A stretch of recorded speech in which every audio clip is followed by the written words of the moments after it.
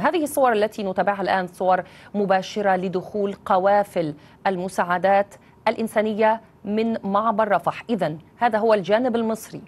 نتابع فيه الشاحنات التي تحمل علامة الهلال الأحمر. شاحنات أخرى وصلت من دول عدة ومن مناطق مختلفة. هذه شاحنات تحمل العلم المصري. إذا هي من دولة مصر تدخل عبر معبر. رفح ذلك بعد التوصل لاتفاق مع الجانب الإسرائيلي برعاية أمريكية وتم بموجب هذا الاتفاق إدخال أطنان من المساعدات الإنسانية التي كانت موجودة في الجانب المصري من معبر رفح بانتظار موافقة الجانب الإسرائيلي لعبور هذه المساعدات. الجانب الإسرائيلي كان يتلكأ ويرفض عبور هذه المساعدات إلى حين تم حلحلة هذه القضية.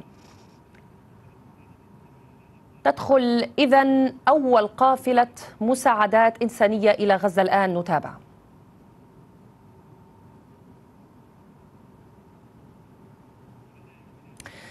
إذا كما نتابع الآن مشاهدينا تبدأ القوافل المساعدات الإنسانية الدخول عبر معبر غزة. طبعا من المعروف أنه أحد عشر يوما من من الحصار لسكان أهالي غزة. أحد عشر يوما. بدون كهرباء ولا ماء ولا وقود ودون القدرة على الوصول إلى أي مساعدات إنسانية عاشها سكان قطاع غزة بالكامل مليونين ونصف المليون فلسطيني في أوضاع إنسانية شديدة الصعوبة.